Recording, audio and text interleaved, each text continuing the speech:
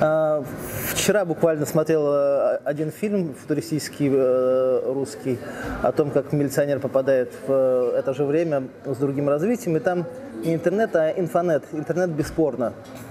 Но я не знаю, стоит ли совсем закручивать гайки, но, конечно, иногда, иногда так интернет поражает, и ощущение, что мы немножко сходим с ума. Потому что мы отказываемся от трехмерного общения, мы заменяем это аудиосообщениями, м, при помощи которых мы забудем буквы и э, разучимся читать, Мы, э, пишем смски. М, Так мы, наверное, скрываем нашу неуверенность в себе, мы боимся людей. Э, Известно, что мальчишки, которые уходят в интернет, они не могут общаться с девушками.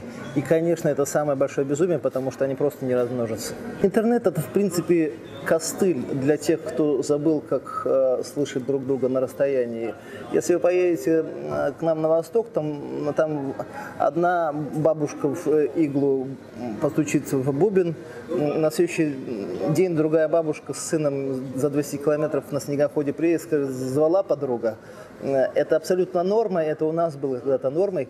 Для тех, кто забыл, нужен интернет. Э, Я знаю людей, которые нормально общаются на уровне чувств своих. Но просто интернет избыточен.